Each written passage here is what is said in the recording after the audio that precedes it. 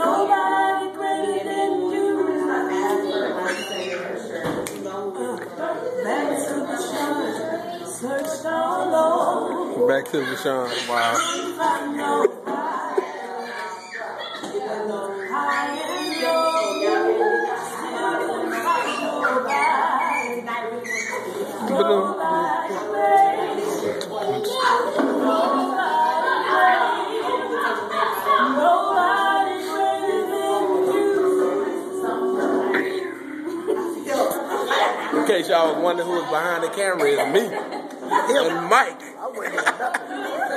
Mike.